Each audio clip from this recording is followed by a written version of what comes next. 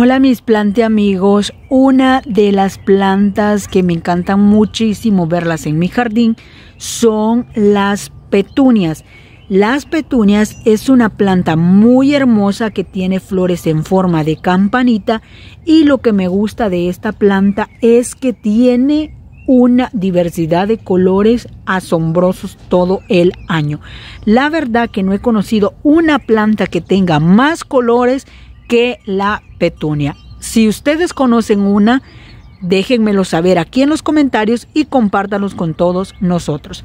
Pero para tener petunias muy hermosas también es necesario que sigamos unos consejos, porque me han dicho, Clody, yo he comprado mis petunias y al siguiente día ya amanece toda triste, se me muere, ¿qué es lo que está pasando? Para todas esas personas que me han preguntado qué ha pasado con sus petunias, quédense hasta el final del video y les voy a explicar paso a paso qué es lo que yo hago para mantener mis plantitas muy pero muy hermosas. Y les recuerdo que si son nuevos o nuevas, se suscriban al canal, es totalmente gratis y que activen la campanita para que les lleguen notificaciones de nuevos videos. Sin más que decir, iniciemos.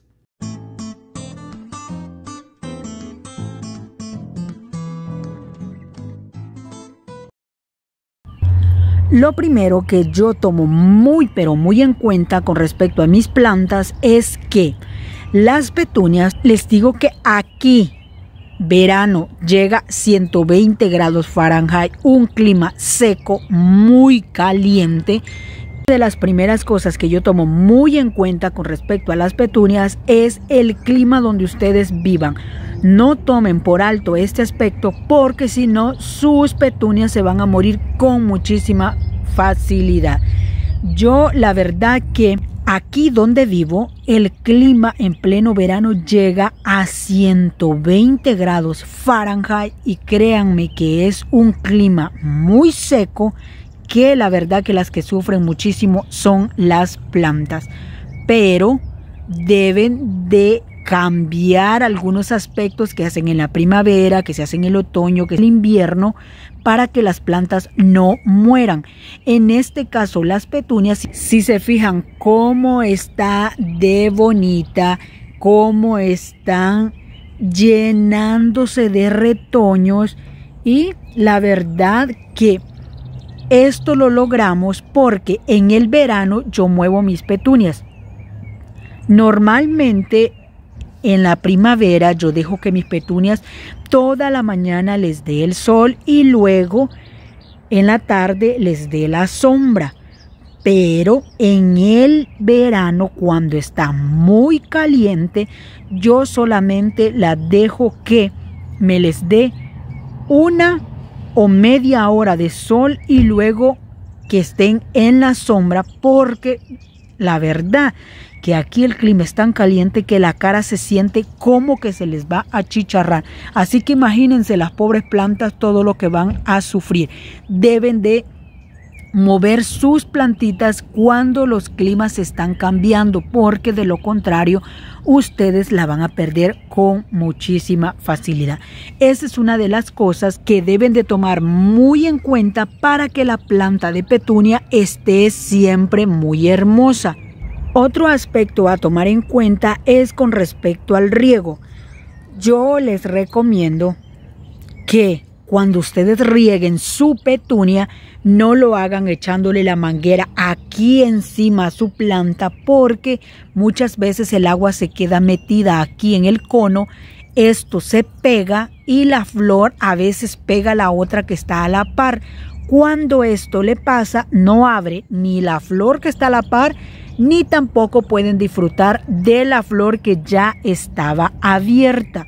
Yo siempre les digo que cuando rieguen sus petunias lo hagan directamente aquí en el troncón para que la planta no sufra eso. Pero me van a decir, Clody, ¿y cuando llueve cómo le hago o cómo hacerle? Hay una cuestión en los climas tropicales. Cuando llueve, si se fijan la lluvia que cae tan a presión y está a caer y caer y caer el agua, la planta empieza como a hacerse así un poco para abajo. Entonces cuando hace esto, el agua se sale, pero cuando nosotros regamos nomás lo hacemos por un ratito, entonces el agua se queda ahí retenida y eso es lo que ocasiona que la flor se ponga así y que las hojas también ahí se queden como húmedas, se hace un hongo y al final ustedes terminan perdiendo su plantita de petunia. Cuando ustedes ponen sus petunias así en diferentes colores, que en este caso le he puesto aquí morado, le he puesto rosado, aquí le puse una rosado con rayas. Este es el tipo que me gusta porque esta huele. Estos tipos que son así de color sólido no tienen olor. Aclaro esto porque ya me han dicho algunos que la petunia que tienen no huele y yo he dicho que huele. La petunia que huele son estas que tienen así rayas. Independientemente de cuál sea el color, las que tienen rayitas así son las que tienen un aroma súper pero súper rico. En este caso, miren esta que está como medio roja, morada, no sé ni qué color es este. Estas que tienen rayitas echan un olor tan rico y en mi experiencia como petunias, este tipo de petunias es la más resistente y la que se extiende más y crece muchísimo más son las petunias de color blanco. Así que si ustedes quieren tomar en cuenta estos dos datos, tómenlos en cuenta para que no pierdan sus plantitas. También deben de tomar en cuenta que todas estas flores que ya están así todas aguadas deben de ser cortadas para que la planta no pierda energías queriéndola alimentar. Todo esto que se ve con hojas, con las florcitas que ya se secaron, todo esto debe de ser cortado porque si no la plantita se empieza a ver como fea. Si ustedes tocan la petunia se siente como algo pegajosa, pero la verdad que las petunias son muy lindas. Miren, algunas flores después que se caen, esta bolita que ven aquí, esto es donde van a salir las semillitas. No todas las flores tienen semillas, solamente son algunas. Les quiero mostrar en esta que ya la flor se secó, pero miren, aquí no tiene que le van a salir semillas. Esto es algo muy chiquito, pero ahí no va a salir semillas. Aquí hay otra, tampoco le va a salir, así que no todas las flores echan semillitas, pero hay bastantes que sí las echan. De ahí ustedes lo único que hacen es esperar que se ponga de color café y ahí salen unas chibolitas pero muy pequeñitas y esas solamente las ponen así encima de la tierra y les vuelven a salir nuevas plantitas de petunia. Todos los colores de petunia son muy hermosas, a mí me encantan. Mire este rosado tan encendido con su fondo blanco. Por aquí tengo morados, rosados, blancos. Miren este color tan bonito que está aquí, que es un color como ocre, moradito, no sé ni qué color tiene. Y mire el fondo es bien moradito. Son plantas muy lindas que las pueden poner tanto de forma colgante así en las macetas. En este caso yo la tengo aquí en esta maceta de cerámica. Esta es una maceta plástica que por aquí le eché semillitas y miren cómo han salido montones de plantitas. Ya estas se tienen que esperar que crezcan como así, como de este tamaño así y ya ahí las pueden ustedes trasplantar porque si las sacan así muy chiquititas lo que va a pasar es que la planta se les va a morir, no va a sobrevivir y ustedes van a estar muy tristes. ¿Qué es lo que hacemos o cómo yo las fertilizo? Yo les he mostrado muchas, pero muchos fertilizantes orgánicos que le pueden poner a su plantita todos esos fertilizantes, ya sean de cáscara de banana, cáscara de papa. El último fertilizante que yo les puse, si no lo han visto, lo voy a dejar aquí el link en la descripción.